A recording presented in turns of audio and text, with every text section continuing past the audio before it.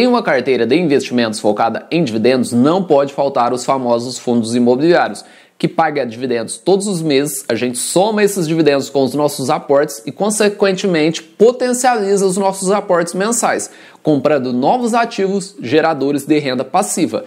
Vou te apresentar os seis fundos imobiliários que fazem parte desse portfólio, um portfólio focado em dividendos e no longo prazo. Já mostrei as 10 ações, mas vou mostrar rapidamente que faz parte desse portfólio atual. A nossa macroalocação ficou dessa forma, 65% em ações. Hoje o peso é 65,44 e eu vou te mostrar rapidamente os 10 ativos que compõem o nosso portfólio. Nessa coluna temos os ativos e aqui a microalocação. Determinamos a meta em ações e depois determinamos a microalocação, que é a alocação que a gente quer ter em cada ativo. Vocês já conheceram as 10 ações e agora vamos conhecer os seis fundos imobiliários. Eu não me preocupo preocupo, na verdade, em fundos imobiliários eu gosto de uma diversificação. O percentual, a macroalocação em fundos imobiliários é 30%, dividimos 5% em seis ativos. E o primeiro deles não poderia faltar o setor logístico, pois o XPLG 11 hoje se encontra bem abaixo do seu valor patrimonial, ou seja, ele está sendo negociado abaixo do que ele vale, PVP de 0,84. Abaixo de 1 sinaliza que ele está sendo negociado abaixo do que ele vale e ele pagou um excelente rendimento nos últimos 12 meses de 8,72% e um ponto positivo mostrando que o XPLG 11 está com uma boa boa gestão é que ele vem diminuindo a vacância e conseguindo crescer os seus rendimentos. E isso gera muito valor ao cotista, pois os seus rendimentos saíram de 50, 55 centavos lá em 2020 para mais de 60 centavos no seu último rendimento. A nossa macroalocação 30% fundos imobiliários, XPLG, hoje é 5%. E depois, ao final do vídeo, eu vou te mostrar como está o seu peso atual,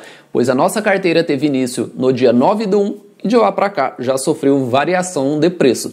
Segundo o ativo, o setor de shoppings não poderia faltar. E quando se fala em shoppings, logo a gente lembra do início da pandemia. Shoppings fechados e, consequentemente, eles não repassaram rendimentos. Ele ficou um longo período sem pagar. E um ponto positivo é a sua gestão, que conseguiu fazer que os seus rendimentos voltassem a crescer de forma tão expressiva em um curto período de tempo, chegando a quase 80 centavos no seu último rendimento. E o setor de shoppings não poderia faltar, e hoje o XPML se encontra com 5%. É importante lembrar que nenhum ativo dessa carteira é recomendação. É somente um vídeo informativo, educativo, mostrando por trás de uma gestão de um portfólio de longo prazo focado em dividendos. Terceiro ativo, MXRF11, um dos fundos imobiliários mais queridinhos, hoje se encontra com um dividend yield de 11,96 e está sendo negociado próximo ao seu valor patrimonial, hoje 0,99. Quando a gente pega do início de 2021, inflação em alta, consequentemente seus rendimentos voltaram a crescer.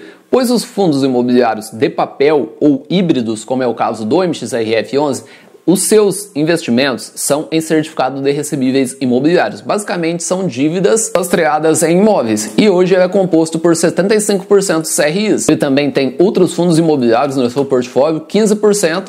A maior parte é CRIs são indexados à inflação e, consequentemente, com as deflações que a gente viu nos meses anteriores, os seus rendimentos voltaram a cair, pois a sua carteira está exposta à inflação e, consequentemente, a gente viu a queda desses rendimentos. E quando a gente pega o seu último anúncio, voltou a crescer e chegou a pagar 10 centavos por cota. Em fundos imobiliários, a gente gosta de ter uma boa diversificação quarto ativo com 5%, assim como o MXRF11, um fundo imobiliário novo VGHF11, que pagou um dividend yield de 16,05 nos últimos 12 meses e hoje se encontra com um PVP de 0,99. Assim como o MXRF11, sua carteira está alocada a maior parte em CRIs, consequentemente, aconteceu da mesma forma que o MXRF11, deflações, consequentemente dividendos em queda, que estão se estabilizando e quem sabe volte a crescer, mas a única certeza que a gente tinha é que essas deflações não iriam continuar para sempre. Em algum momento, essa inflação iria se estabilizar ou até mesmo voltar a subir no futuro. A gente não sabe, por isso temos que ficar atento à carteira do fundo imobiliário, os seus indexadores, para saber o motivo das quedas dos rendimentos e não só vender porque os rendimentos caíram. Sim, a gente precisa conhecer os ativos a fundo e essa diversificação não é à toa, ela nos protege desses momentos de queda de rendimentos, pois Fundos imobiliários de papel, rendimentos caindo. Fundos de tijolos, os rendimentos subindo, como é o caso do XPML, XPFG11, e isso acaba balanceando a nossa carteira. Momento de crises em algum setor específico, outros setores também, e assim sucessivamente. E nem sempre todos os setores da nossa carteira irão estar em alta vão ter altos e baixos, e essa é a importância da diversificação para não estarmos expostos ao risco de ruína. Na verdade, não precisamos disso. E eu vou deixar passando aqui um vídeo que eu mostro na prática a importância da diversificação com uma carteira de 20, 10 e 5 ativos. E o quinto ativo com 5% HCTR11, um fundo imobiliário um pouco pimentinha, como é o caso do VGHF11, fundos high yield, maiores rendimentos, maior risco. Hoje ele se encontra com um PVP de 0,81 e pagou nos últimos 12 meses um yield de 16,41. MXRF11, VGHF, HCTR, rendimentos em queda, consequentemente as cotações são espelho desse rendimento. Pois a tendência é que quando os rendimentos caem, os investidores vendem as cotas. E a gente vai no contrafluxo, pois quando todo mundo está vendendo, a gente está comprando. Pois esses ativos continuam bons ativos, pagando rendimentos, porém estão no ciclo de baixa. E nesse ciclo, que é o momento que a gente mais gosta de comprar, pois aí sim os ativos estão baratos.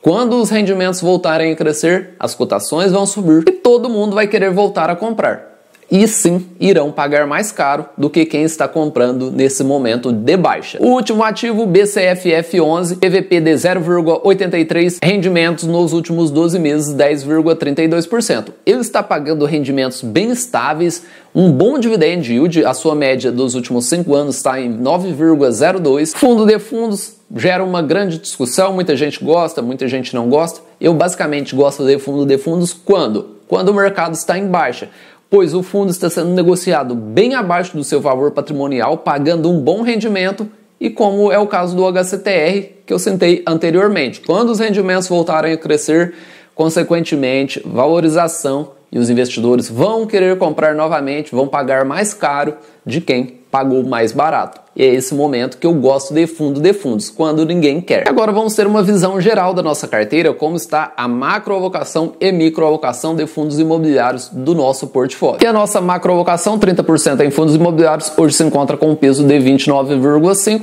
Temos aqui todos os códigos dos fundos imobiliários que eu citei nesse vídeo, na coluna ativo, a nossa quantidade e aqui tem a variação em dinheiro, porcentagem e porcentagem com dividendos. A meta que estipulamos em cada ativo, somente hoje o XPML está acima desses 5%. E deixa nos comentários se você tem algum desses fundos imobiliários na sua carteira. Esse vídeo não é recomendação, e sim vou te mostrar toda a gestão por trás de uma carteira focada em dividendos, em boas empresas, bons fundos imobiliários pagadores de dividendos. Um abraço a todos e bons investimentos.